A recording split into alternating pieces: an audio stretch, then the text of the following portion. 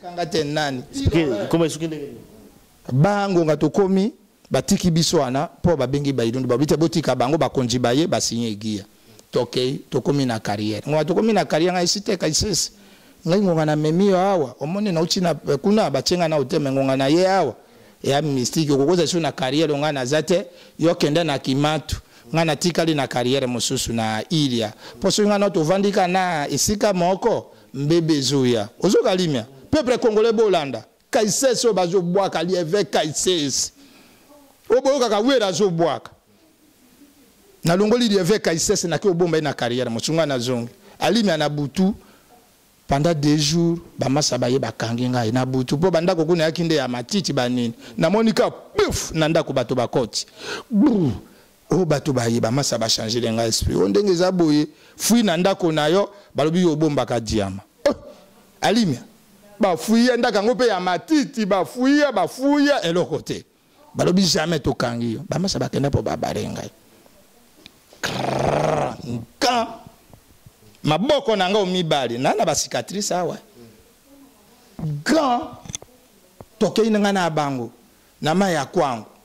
sikoyo nazalaki na bamasa na ngai moko bien ya bailundu na andulu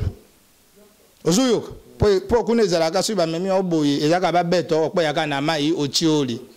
na butu e ngonga tozalaki wana sikoyo bamasa ngonga tokómi pemene ya mai na mai ya kwango tokomi sikoyo pembeni ya mai de masa sikoyo balingi basala lokola discussion badiskute ngai sikoyo nazoyoka pasi pasi makasi sikoyo maso alaki pili ngai pire mpo wana naliaka na ndako na ye eh, akende oboma banyama nga mpe eh, toye abengi nga na ndako na ye tolei pire mpo ye nde temwa moto nde tobanda kotambola nga na ye ye mpe batiaki ye mpo bamona mpe esika mpe baoboma ngai mpo ye mpe ayebi makambo ya lieve kaisese mpo tozalaki na ye me ye sikoyo batiki ye mpo ye aza mwana mboka neti ngai mpe na moto mosusu ifaleka bateka ngai boye awa alime osupporte te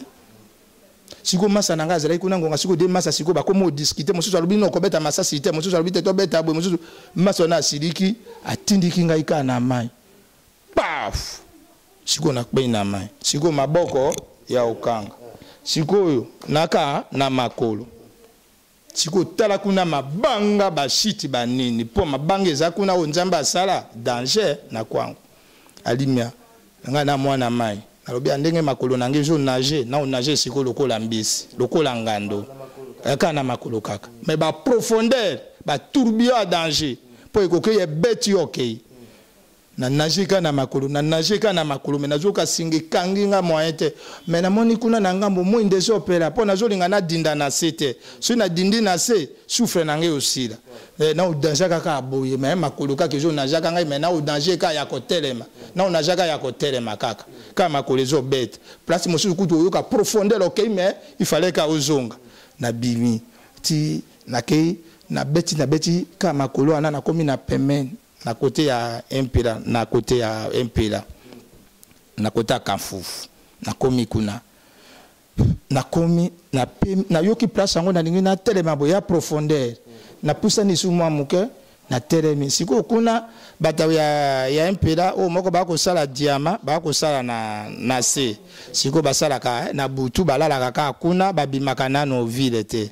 sikoyo napusani napusani sikoyo nakomi wana sikoyo navandi na, na matiti nayoki bamasa kuna bakoma obeta masasi fort mpo bayebi sikoyo place ngai nakei te sikoyo ngai ngonga masa atindikaki ngai neti masa abikisaki ngai eh, masa na ngai abikisaki ngai mpo desordre otikala bango na bango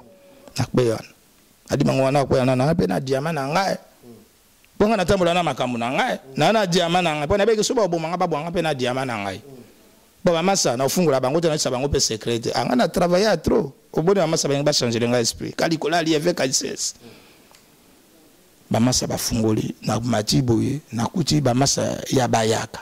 nayoki bango bayaka bazoloba mpo ngai namesanaki te bafungoli nano te nazalaka na singa wana sikoyo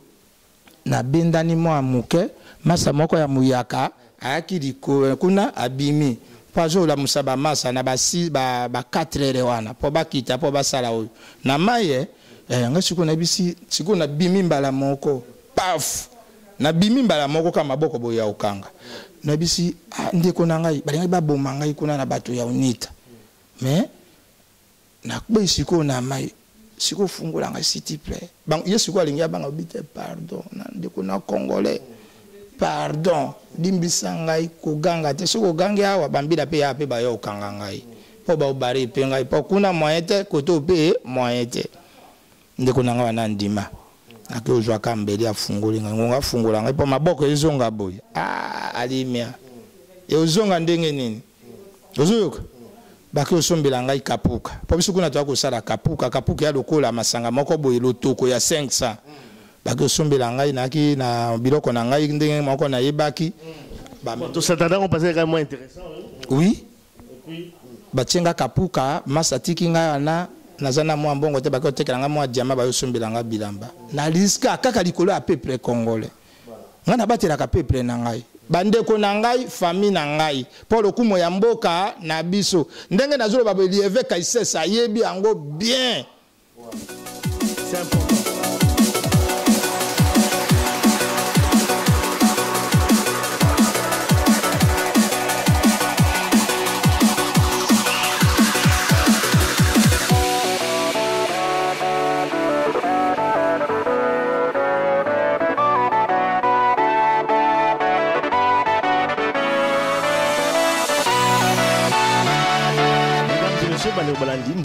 mbote mbote esika bozali dernier virage les amis de wechi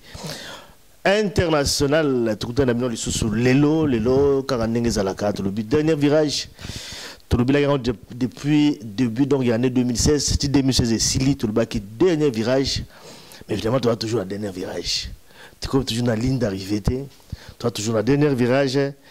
boyebi makambo ezoleka na mboka na biso c'est vrai que ça eza mpenza korassurer biso te euh, vraiment bacongolais bazali mingi un peu dessus par rapport ya classe politique ya mboka na biso boyebi la senco donc conférence euh, euh épiscopale nationale congolaise oyo bainitiaki en tout cas un dialogue entre donc majorité présidentielle et opposition mpo ameka mpe ko se retrouver autour d'une table batrouver solution pona makambo oyo ya mboka na biso en rapport en tout cas ya ba élection ya mboka na biso boyebi accord ezalaki signé mais depuis accord wana ezalaki signé lelo baza ko parler sur des arrangements particuliers pour tout simplement parce que il y a des points de discorde po eza ko diviser majorité présidentielle na, na opposition baza ko yokana te sur beaucoup de points mais bon c'est vrai que baza ko avancer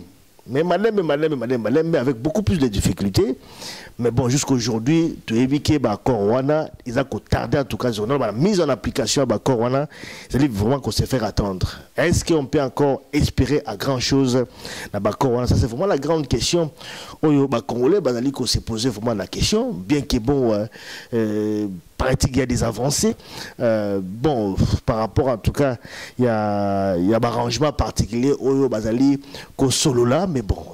qui bah, au déjà à niveau il y a partage donc il y a gouvernement mais bon il y a toujours un blocage tout autour, en tout cas, il y a la nomination ou bien les modes, donc il y a désignation. Il y a Premier ministre, voilà, bien qu'un accord, c'est bien mentionné que le Premier ministre écoute donc un accord, donc il y a rassemblement. mais je tomoni ke majorité bazali kosala mwa baligance mwa moke nayebi te est ce que ezali mpona ko faire passer le temps est ce que volonté vraiment ezali réelle pour que bapoliticien ya mboka na biso oyo bazali qu'on se retrouver autour donc ya Senko ba avancer pour que ben élection ils allaient organiser comme ils allaient mentionner kati accord à la fin de cette année tout ça qu'on se la kaka tout ça les kota la kaka est-ce que ekosala nini ekosalema est ce que vraiment solution ekozala malamu na makambo oyo tozali kozela yango na niveau ya senico est ce qu'il y a une autre alternative on parle de plan b mais plan b wana eza nini finalement tozoyeba te plan b eza nini bien que mwa bafuite eza kobima mwa moke moke moke nyonso wana tozali kaka kotala makambo ya congo tolobi politike ya congo elengi eleki bilanga na pasi entre temps population ezali kose retrouver vraiment pas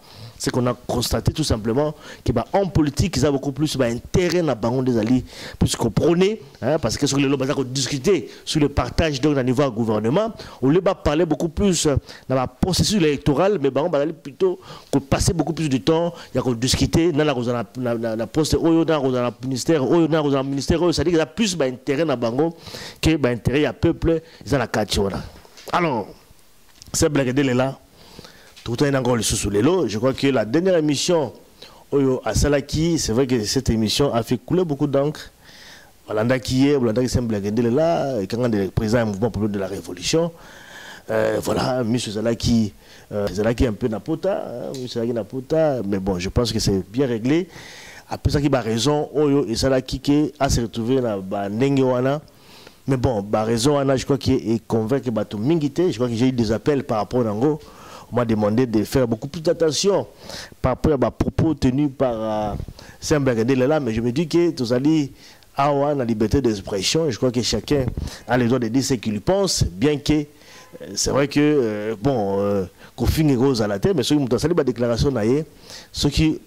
ozali cité na ba déclaration wana oza toujours na droit de réponse pour na apporter également version na yo de fait bon bon voilà c'est un peu ça et puis bon voilà toza aussi awa na mboka oyo mwa ba humour pe kozanga te pourquoi pas président de tout encore une fois lelo sembeke nde la mbote sembeke euh, bonjour euh, bonjour journaliste Alimia et bonjour na peuple congolais on se tout balanda kanga ba mina ngai po na moni bolandaki pende émission wana oyo Alimia alobi Nasepeli na yango nde bolandaki yango. Ata Alimi alobi ke bobengaki ye, bosalaki nyonso tout, mais ngai nasepeli. Napesi bino nyonso tout mbote, ba combattants, ba combattantes, bato nyonso tout. Histoire eza vraie, dossier eza sikoyo na justice. Nakendeki lobi, eza sikoyo ba magistrats. Oza na preuve na yango ntango ozoloba bongo? Oui, oui, oui. Naza- Ba document eza awa. Oui, oui, oui. Naza na yango nakolakisa yo, osala yango, ozwa numero ya procès, ya dossier, ndenge eza na justice tokende ngai nakokokosa likambo te likambo ndenge alimi ayebisi yo ke nabimaki awa ngai moko motu nabimaki awa kutu nauti ofuta mpe na facture ya hopitalo ngai nakɔtaka na olakisa alimia 12 ozoyoka 12 nauti ofuta yango lelo alimia otala makambo nyonso tu ngai nakokosala treatre te ngai nakokosala oyo te ngai na komando ngai nayebisa bino peuple congolais bino boyebi ngai bien te ngai oyo balakisi ngai mosala oyo oyo ngai naosala awa ya politiki nabandi yango bomwana nayebisaki bino ke nasala na perzeti nalongwe kuna naosala na masuwa general mayele nalongwe kuna na ye tembo nalongwe kuna na kei ti bakote mosusu epai bageneral gomes nalongwe kuna ti nakei Cote ya kanfufu nayebisi bino ke nafungola ba ewawa na ba mashvel bebe bato nyonso tout nani oyo ayebi ngai te ata ba vieux tchatcho mbala wana ngonga ba vieux tchatcho mbala bazo kota na ngo na lunda ngai moto na obotola bango diama na kaises tout na tchatcho mbala obotola ngo poni na banda ko kota soda unita so na obi ke pesa ngai mbongo soki mbongo ezate na zui diama ah, oyi soda unita oui nazalaki epa unita nayaki komanda pem ya kokanga bato nyonso tout ata angolais ya onita nazo kanga ye komanda pem na kambunge botuna na kambunge nani moto ayaki komanda pem na kambunge na frontiere ya kanfufu na esika onita azalaka nani moto azalaki nani moto abandaki kokende osomba Biloko ya olia ya ba soda ya front binonso tout boyebi ngai ekanga ngenge kaka oyo na Luanda mpo nayebisa bino nao verite mpo bamosusu bazobenga ngai na telefone bazofinga ngai me naoloba nao makambo me nayebisa bino nao verite na Luanda nyonso tu boyembaka na Congo depuis Chacho Mbala Didi Kinwani ba Willy Musheni bato nyonso tu bankodi ya mboka nani oyo ayebi ngai te nani natekela vie na ngai naloba nano verite vie na ngai oyo mosusu nani chacho mbala te oyo mosusu nani didi kinwani diama ya 60000 na loanda na ndako na ye apesi ngai 25 atikali na mosusu panda une semaine na yo ozwa mbongo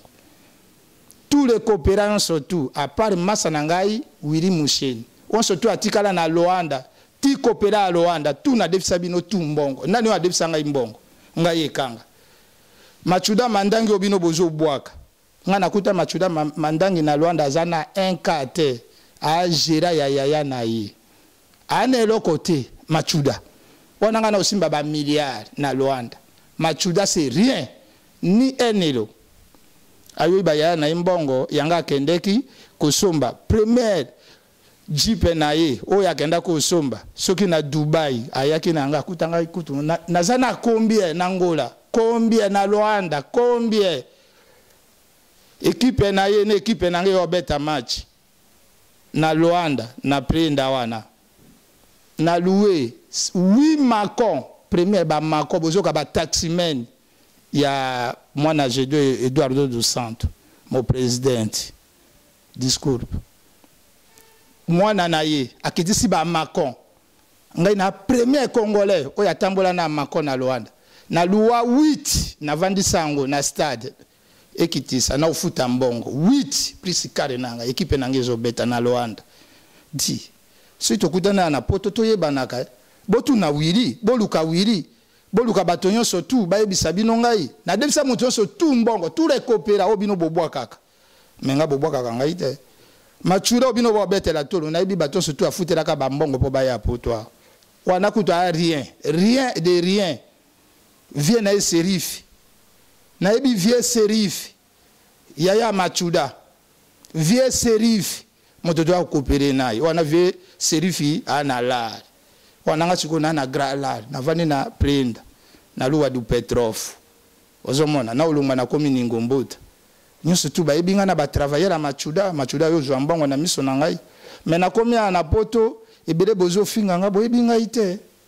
Mais naza na kanda na bino te napesi bino kaka ke bozala kimia toyebani te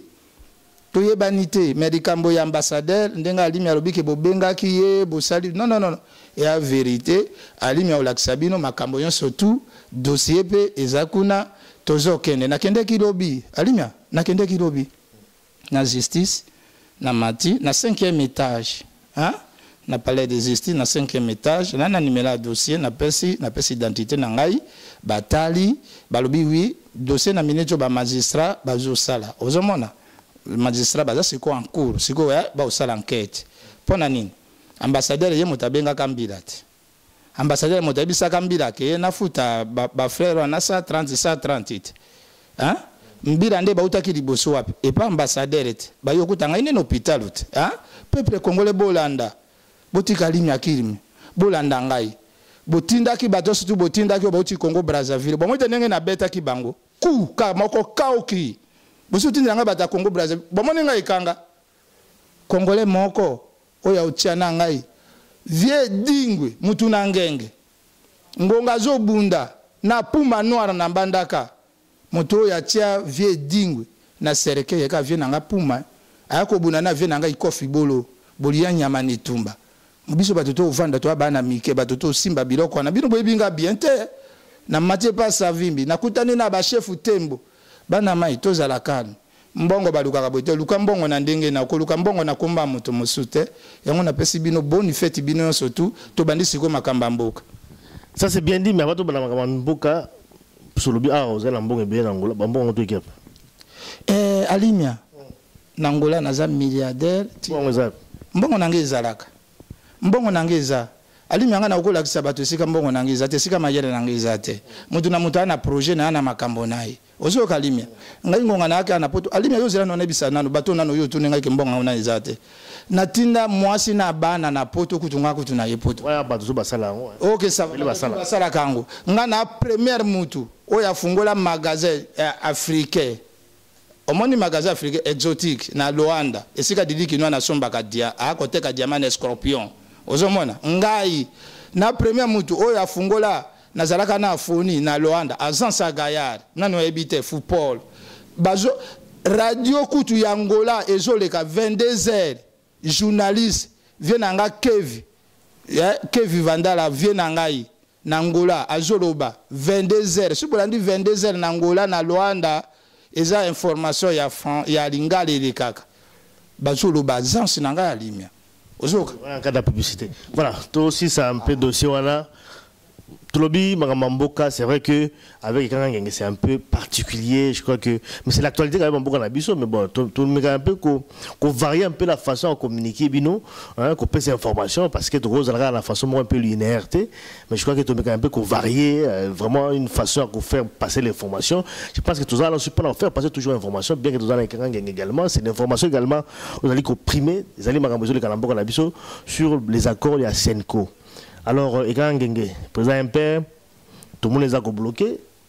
totiaki mwa espoir na kati ya bako ya dialogue oyo initié par la senco mais apparemment eza koboite jusqu'à aujourd'hui baaccord ezali appliqué te alors point, na, point de vue na yo eza nini Eh, merci journaliste alimia nasepelaka nao nde tosala mosala mpo mwana oyo ayebi politiki bien alandaka chaque likambo na article mpo biso na politiki tolandaka chaque likambo na article ifale ozala na journaliste oyo ayebi article politiki omoni ndenge atuni nga likambo ya akolo ya seiko oyo elekaki le 31 décembre 2016 akolo wana eza sire eza eloko ya obanga te eza eloko mokili mobimba yonso tu bandimi yango ata gouvernement belge bandimi yango naza na epreuve ya papier botala didier rendes andimi yango qui rappelle l'importance de l'accord de la saint sylvestre oui mpo na nini accord wana ezaka Eh, mosengo na bato na ye pamba bato basali non non non non. Ya même pas mosengo ça dit que ezali ko senko. Oya basali yango bandimi accord wana oya po bino bamasusu boyebi politiki bien te oya oya eza oni te oni eza oni oya eza oya ua union africaine e ok ça va union africaine bandimi ba awa europeen bandimi bongo sikoyo likambo eza lisusu ya ochange kabila ndenge eza boye aza nde moto nde omoni na miniti oyo mpo aza na luanda nayebi kaza na luanda akeolela kuna bapesa lisusu basole pa eh, mopresidente eh, josé eduardo dos santo mokota te aozwa lisusu te akei wi Président Kabila, te, nga na benga président te, monsieur Kabila, sénateur Kabila. Kabila aza sous président te. Peuple congolais, tosi tolongi page ekoti na Congo. Bozo besili, ba Rwandais ba kei na prison. Ka... Elonda oza ko rassurer yo nango. Eloko eza ko rassurer nga na yango eza accord oyo ya Seiko ya le 31. Decembre 2016 eza mokili mobimba batu basalaki lisolo wana bapesi pe ebimi eza eloko moko tobomba o cache na se eza te nga nayebi eloko kabila alingaki asala kabila oyebi ngonga biso tozalaki wana ngonga accord wana ezo signe asengaki basoda epai ya congo brazzaville bazalaki na kin barwandais bakɔtaki tokangaki bango na frontière ndenge biso tozosala oyebi tokangi tokangaki combien de police ya congo brazzaville basoda balati bilamba ya banani bakangaki bango biso bato ya impere tokangi bango na kin bazalaki na kin bien mingi Nous avons des parce que pouvoir. Mais Alimia, biso to aseya un peu nazo contrôler mboka. Alimia alandela eloko moko na ebisaka o liboso na première émission oyo monaka passeport que biso to kende ko développer mboka na biso ezala kimia enseignement sécurité na ba frontières. Ngai moto na ebisaki yo. mpo biso tokontrola frontière ngai président ya mpr na bato na ngai eza frontière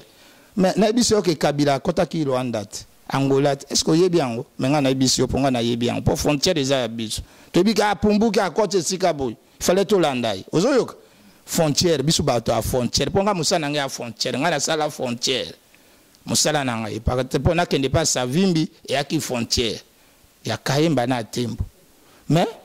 eh, alimia Eloko moko eza te. Masa akeyi. Bana Congo bozala calme. Namoni bobundaki. Botika vieux Mosengo. Botika papa Tshisekedi. Botika bato nyonso tout Kabila akeyi.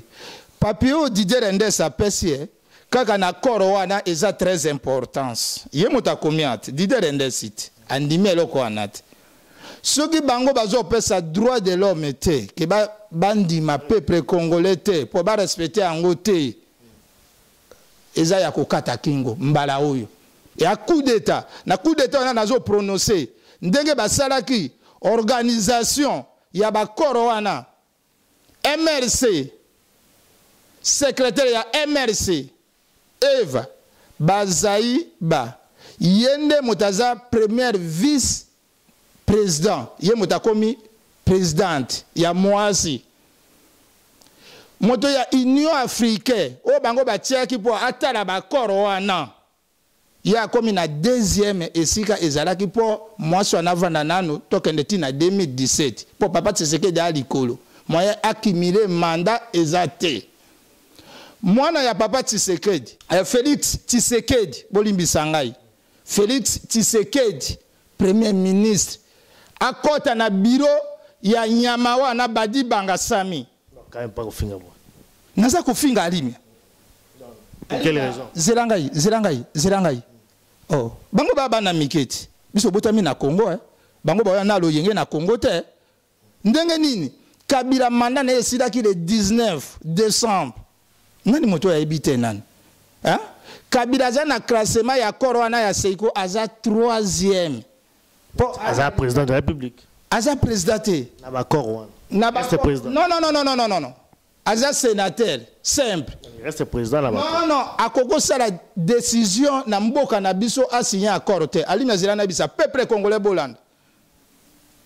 nazoyebisa ambasadere ya allemagne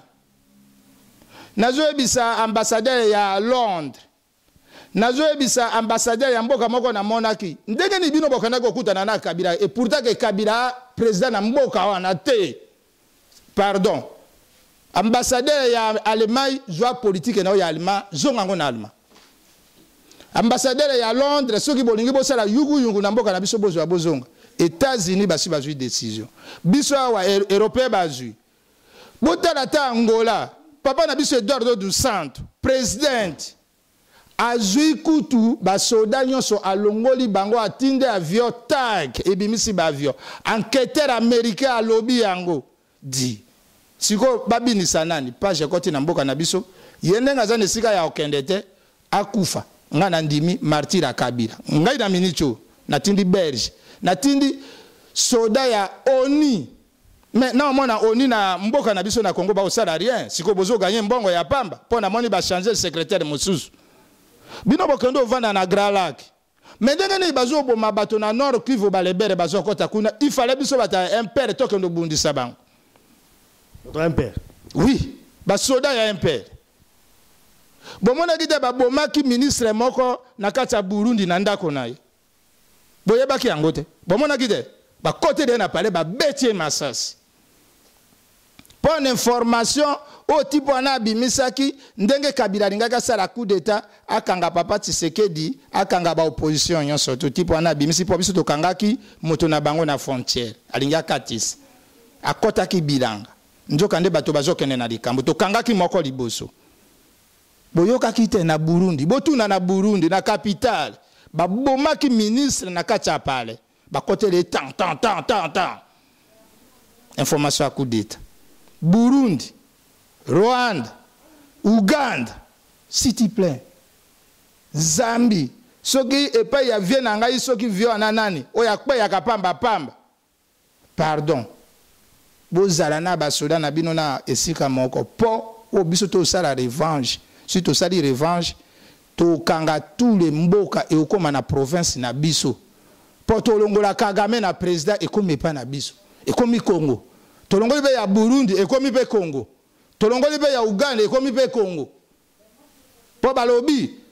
tokomi sikoyo komisala mabe mpo belge basi balobi to miboma ekomi sikoyo ya komiboma Ça c'est bien, mais kolongola bango, nous on n'a pas la force ya kosala yango. Tokomi lelo na niveau tokomi. Alors, makambo ndenge ozoloba awa ya Senko, c'est vrai tozozela en tout cas mise en application ya baccord donc ya Senko et puis bon, espérons que ba élection ekozala organisée na la fin de l'année.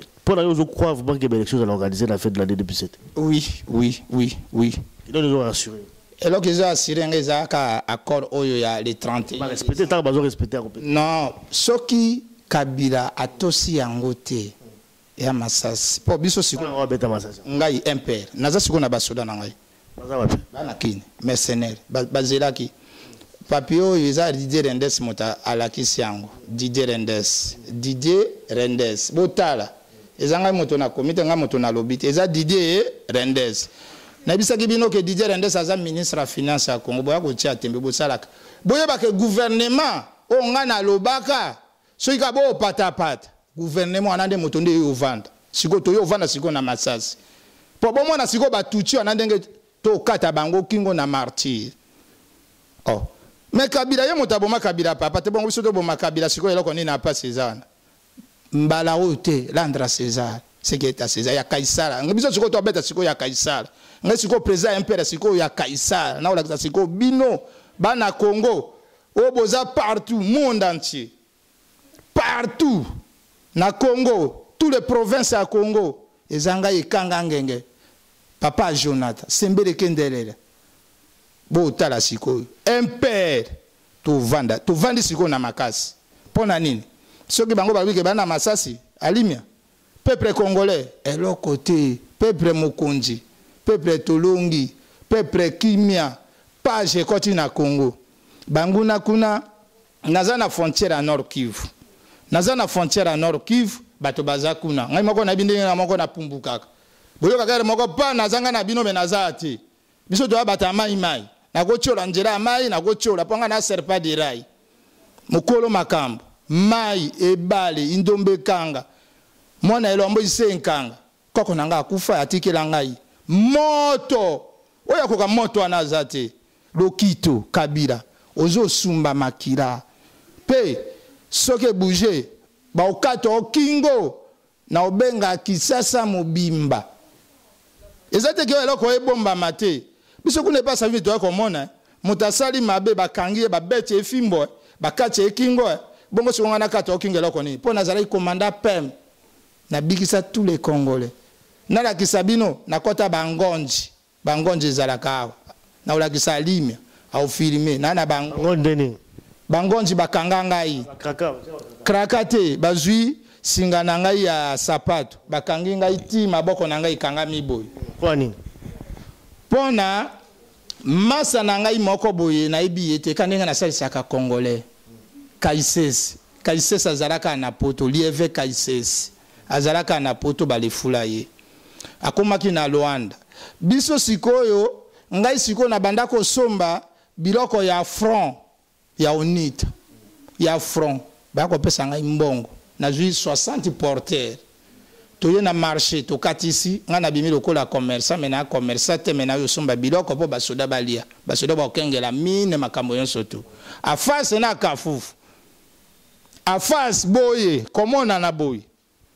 mwa tokesaka fufu eza te nakutani na masa na ngai moko congolais ya molai ngonga bamoni ngai mpo ngai nakozala soki na koti ya limia na basoda na bato nyonso tu ngai moto nakokanga mpo mbongo kombia mpo na yo osomba basaki ya mwamanda mwamanda mpo biso kuna toya kolia mingi mwamanda bamakayabo banini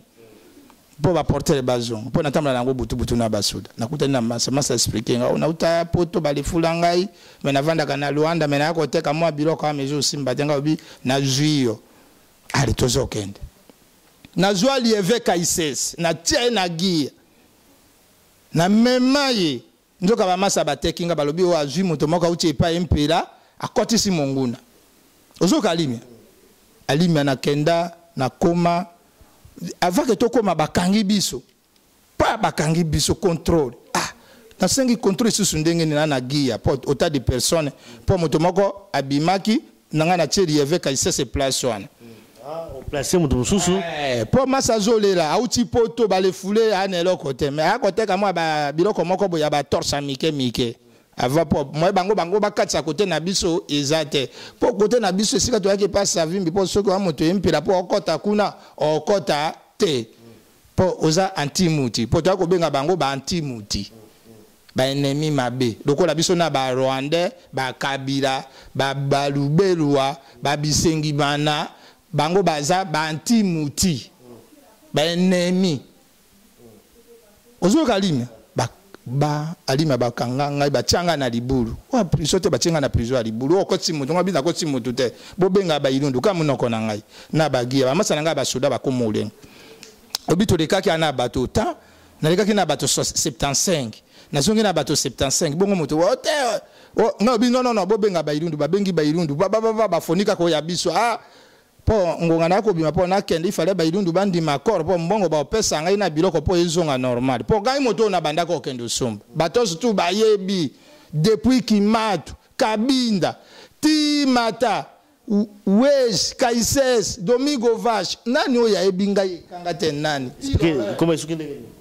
bangonga tokomi batiki biso wana mpo babengi bailundu babi te botika bango bakonzi baye basinye egiya tokei tokomi na carrière ngonga tokomi na carrière ngai esi te kaisese ngai ngonga na memi yo awa omoni nauti na eh, kuna batie ngai nao te me ngonga na ye awa eya mystique okokoza so na carrière ngai naza te yo kende na kimatu ngai natikali na carrière mosusu na ilia mpo soki ngai nao tovandi ka na esika moko mbebe ezoya ozokalimia peuple congolais bolanda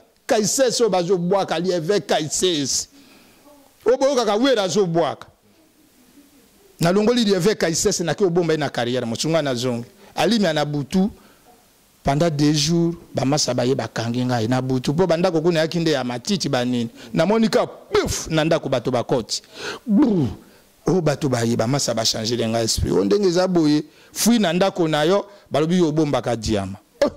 alimia bafuya ndako yango mpe ya matiti bafuya bafuya eloko te balobi jamais tokangi yo bamasa bakenda mpo babale ngai nka maboko na ngai omibale na na bacicatrice awa grand tokei na ngai na bango Na mayi ya kwango. Sikoyo nazalaki na ba masa na ngai moko bien ya Bailundu na Andulu. Ozoyoka? Po, po kuna ezalaka soki bamemi yo boye ezalaka ba bete oko kweya kaka na mayi otioli na butu eh. Ngonga tozalaki wana. Sikoyo ba masa ngonga tokomi pembeni ya mayi na mayi ya kwango. tokomi sikoyo pembeni ya mai de masa sikoyo balingi basala lokola discussion badiscute ngai sikoyo nazoyoka mpasi mpasi makasi sikoyo maso alaki pili ngai pire mpo wana naliaka na ndako na ye eh, akende oboma banyama nga mpe eh, toye abengi nga na ndako na ye tolei pire mpo ye nde temo ya moto nde tobanda kotambola nga na ye ye mpe batiaki ye mpo bamona mpe esika mpe baoboma ngai mpo ye mpe ayebi makambo ya lieve kaisese mpo tozalaki na ye me ye sikoyo batiki ye mpo ye aza mwana mboka neti ngai mpe na moto mosusu ifaleka bateka ngai boye awa alime osupporte te siko masa na ngai azalaki kuna ngonga siko de masa siko bakomi odiskite mosusu alobi no kobeta masasi te mosusu alobi te tobeta boye mosusu masa wana asiliki atindiki ngai kaka na mai paf sikoyo nakpei na mai sikoyo maboko ya okanga sikoyo naka na makolo sikoyo tala kuna mabanga bashiti banini mpo mabanga eza kuna oyo nzambe asala danger na kwango alimia na ngai na mwana mai nalobi ya ndenge makolo na ngai ezonage na onage sikoyo lokola mbisi lokola ngando kaka na makolo kaka me baprofondeur batourbillon ya danger mpo ekoki ebeti yo okei okay. na nage ka na makolo na nage ka na makolo me nazoka singa ekangi nga moyen te me namoni kuna na ngambo moi nde ezopela mpo nazolinga nadinda na se te soki nadindi na se soufre na ngai osila eh, na odange kaka aboye me makolo kaka ezonajaka ngai me na odange kaka ya kotelema na onaje kaka ya kotelema kaka kaka makolo ezobeta place mosusu kutu oyoka profondeur okei okay, me ifale kaka ozonga nabimi ti nakei nabeti nabeti kaka makolo wana nakomi na pembeni na kote ya mpela na kote ya mpela na kote ya kanfufu nakomi kuna nakomi nayoki place yango nalingi natelema boye ya profondeur napusani su mwa moke natelemi sikoyo kuna bato ya, ya mpela oyo moko bakosala diama bakosala na, na se sikoyo basalaka eh, na butu balalaka kaka kuna babimaka nano ville te sikoyo napusani napusani sikoyo nakomi wana sikoyo navandi na, na matiti nayoki bamasa kuna bakoma obeta masasi fort mpo bayebi sikoyo place ngai nakei te sikoyo ngai ngonga masa atindikaki ngai neti masa abikisaki ngai eh, masa na ngai abikisaki ngai mpo desordre otikala bango na bango nakweyi wana adi bango wana akweya na nanga mpe na diama na ngai mpo ngai natambola na makambo na ngai na na diama na ngai mpo nabeki so baboma ngai babwa ngai mpe na diama na ngai mpo bamasa naofungola bango te nayisa bango mpe secret te anga ah, na travaille ya trop oboni bamasa balingi bachangele ngai esprit kalikola ali avec alises bamasa bafungoli na mati boye nakuti bamasa ya bayaka nayoki bango bayaka bazoloba mpo ngai namesanaki te bafungoli nano te nazalaka na singa wana sikoyo Nabendani mua muke, masa moko ya muyaka ayaki likolo kuna, abimi po azolamusa ba masa na ba six, ba, ba quatre heures wana po bakita po basala oyo na mayi eh, eh ngai sikoyo nayebisi, sikoyo nabimi mbala moko paf, nabimi mbala moko kaka maboko boye ya kokanga, nayebisi ah, ndeko na ngai balingaki baboma ngai kuna na bato ya UNITA mais nakwei sikoyo na mai sikoyo fungola ngai sitiple ye sikoyo alingi abanga obi te pardon na ndeko na congolais pardon limbisa ngai koganga te soki ogangi awa bambila mpe yaa mpe baya okanga ngai mpo baobare mpe ngai mpo kuna moyen te koto mpe moyen te ndeko na ngai wana andima ake ozwaka mbeli afungoli ngai ngonga afungola ngai mpo maboko ezonga boye ah, alimia e ozonga ndenge nini ozoyoka bake osombela ngai kapuka mpo biso kuna toya kosala kapuka kapuka ya lokola masanga moko boye lotoko ya 500 bake osombela ngai naki na biloko na ngai ndenge moko nayebaki oui batie nga kapuka masi atiki ngai wana naza na mwa mbongo te bakoki kotekela ngai mwa diama bayosombela ngai bilamba na riska kaka likolo ya peuple congolais ngai nabatelaka peuple na ngai bandeko na ngai fami na ngai mpo lokumo ya mboka na biso ndenge nazoloba boye lieve kaises ayebi yango bien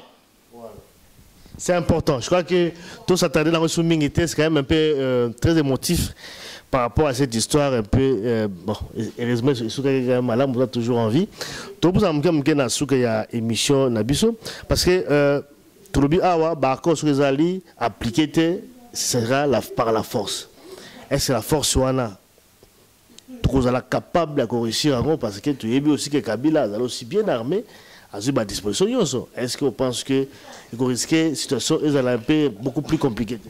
bana congo balobaka soki babelaka so ingeta me biso tobelelaka impere miso ga mokako swa oyo ekoya eya Kabila aza rien boye zero na armee kabila aza zero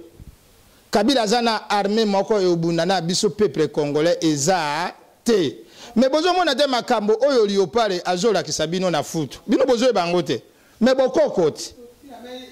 botala makambo ya liopare mpo liopare azolakisa na makambo ya bokoko Pouvoir ya Congo oyo Liopala azo bunda. Bongo sikoyo Kabila soso wana ya soso nga nabengaka ye soso.